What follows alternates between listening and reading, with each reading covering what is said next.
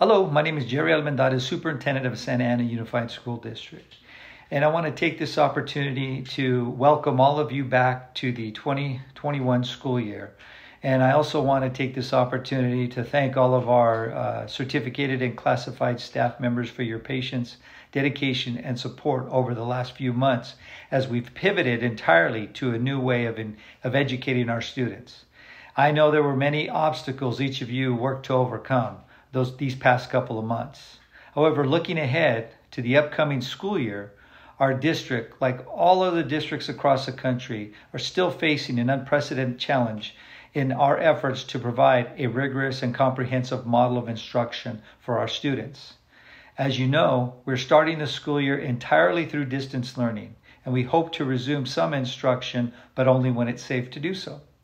However, I am excited about this opportunity that we all have to reinvent ourselves and educate our children. We have a chance to try new and innovative approaches using different technology and other uh, innovative delivery methods that we might not have thought about a year ago.